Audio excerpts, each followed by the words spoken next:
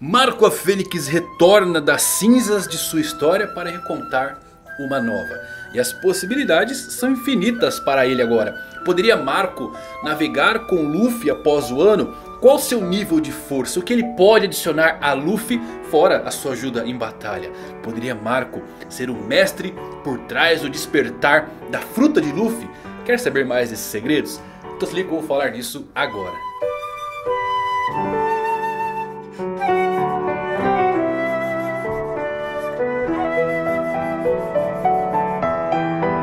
Fala galera, Evandro Fusari aqui mais um vídeo pra vocês, como é que vocês estão? Espero que todos vocês estejam maravilhosamente bem A volta de Marco Fênix, um dos personagens mais amados pela fandom eu particularmente gosto bastante dele Qual o nível de força entre os comandantes Yonkos, entre os imperadores, entre os almirantes Aonde o Marco se encaixa nesse ponto e o que ele pode adicionar para o Luffy, fora, claro, a sua ajuda em batalha. Assiste até o fim, tá bem legal esse vídeo. Se você é novo no canal, aproveita para se inscrever. Escritão Mangalático dispara o like agora com vocês. Todos os segredos de One Piece 988.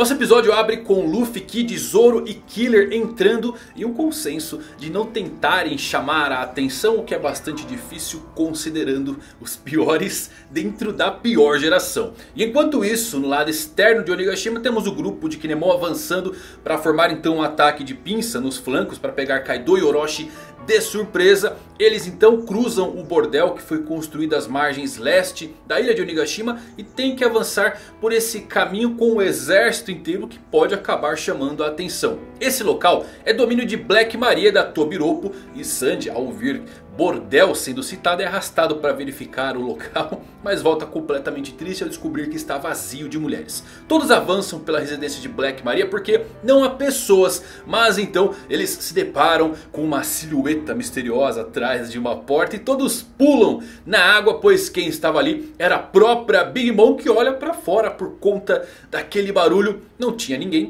exceto um tanque e um Chopper.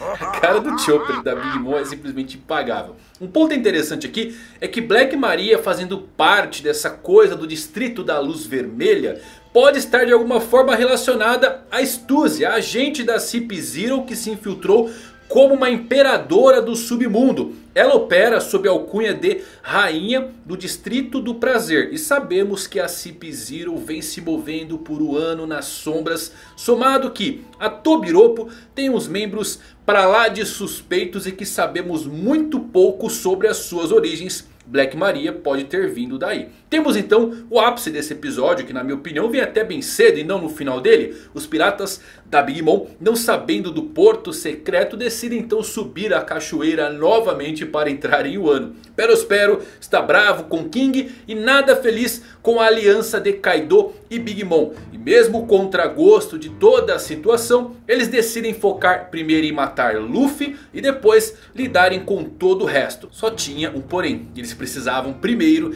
entrar em Wano e quando chegam ao topo da cachoeira, eis que surge ele. Um dos personagens mais emblemáticos e adorados de toda a série e um dos mais poderosos dos mares de One Piece, Marco a Fênix, que impede que os piratas da Big Mom subam a cachoeira usando um golpe que por mais simples que pareça recebeu o um nome, o Pisão da Fênix. E na hora que ele faz isso ele solta uma frase pra lá de poética. Da próxima vez que eles chegarem ali a nossa era pode estar diferente. Simplesmente genial. Uma clara referência de que a queda de Kaido e Big Mom pode acontecer. Isto vai de fato mudar a era dos piratas. E para alegrar um pouco mais nosso dia, junto de Marco, temos Nekomamushi finalmente chegando. E o personagem encoberto pelas sombras é certamente Izou, irmão de Okiko.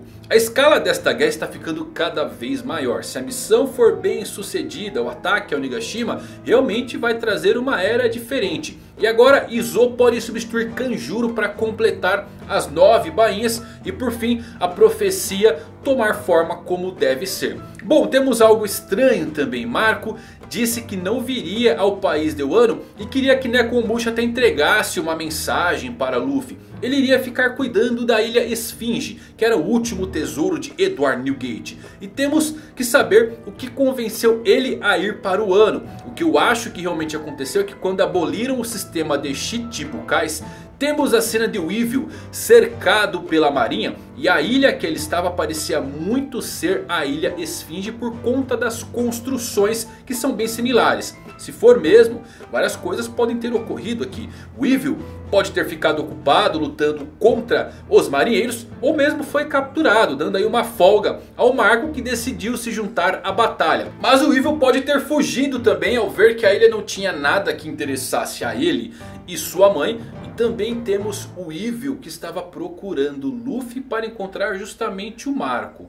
Então ele poderia muito bem aparecer em Wano agora para complicar mais ainda as coisas. O Marco é muito forte galera, ele foi uma adição e tanto para os aliados. E eu vou ser bem sincero aqui para vocês. Apesar de todo o hype criado em cima de Ben Beckman, que foi dito por ter um poder que rivaliza com o próprio Shanks. Eu adoro Ben Beckman, mas Marco na minha opinião é o comandante Yonko mais poderoso até agora. Ele tem mais feitos notáveis do que qualquer um que você pegue. E nesse episódio você até consegue ver um deles. Parar a Kainu que tem a fruta mais ofensiva da série. Fora que ele encarou a Okiji e Kizaru também saiu vivo da guerra do acerto de contras contra o Barba Negra. Tudo isso quando o Haki era embrionário. Marco era o braço direito do rei pirata não nomeado. Barba Branca era o homem mais próximo do tesouro One Piece. Só não achou o tesouro por não ter interesse nele. E quando você olha todos esses feitos... Marco parece ser sim o mais próximo de todos os comandantes em Yonkou do nível real de um imperador. E digo mais, quem sabe mais tarde o Marco pode ser aquele que treine o Luffy na questão de despertar seu fruto. Isto seria insano e sem precisarmos de um time skip novamente. Porque Marco tem um domínio absurdo dos seus poderes. E com sua experiência pode ser aquele que sim ensine Luffy os passos finais para maximizar sua Akuma no Mi por fim despertar. Eu fiz uma teoria há um bom tempo, ela é bem poética e romantizada, mas seria simplesmente incrível se ela se concretizasse também. Que Marco é o único usuário da fruta da Fênix e toda vez que ele morre, ele renasce. Assim como nas lendas da Fênix que ressurge das cinzas.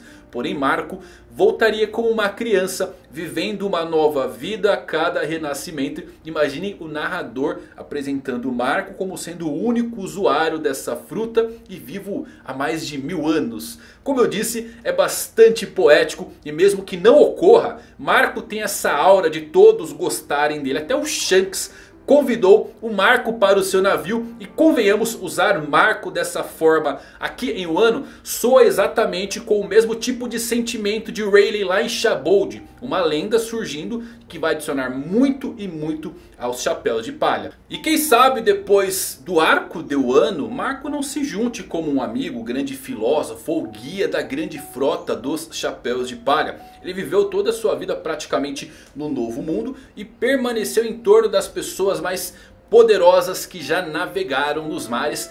Fora que seus assuntos com Edward Weevil e Barba Negra não terminaram ainda. Mas mudando um pouquinho de foco dentro do castelo de Onigashima. Vemos Black Maria demonstrando não ter qualquer interesse em procurar por Yamato e decidindo ficar próximo de Kaido. Temos uma visão mais aprofundada então das motivações e mesmo do caráter de Kaido em geral aqui nesse ponto. Quando vemos que Orochi só pensa em celebrar a queda dos fantasmas que o atormentaram em pesadelos por longos 20 anos. Kanjuro foi o pilar central da queda de Oden e ele está a caminho. Tudo que remete a Oden faz Orochi tremer de alguma forma. E aqui um ponto bastante curioso e mostra mais uma vez uma resposta a dúvidas antigas que ficaram no ar. Kaido questiona a confiança de Kanjuro quando afirma que Oden não deve ter lhe falado nada sobre o Left Tail. Isso aqui responde porque Kaido queria os retentores vivos e tinha algo a perguntar a eles. Ele queria sim infos da última ilha ou mesmo sobre o diário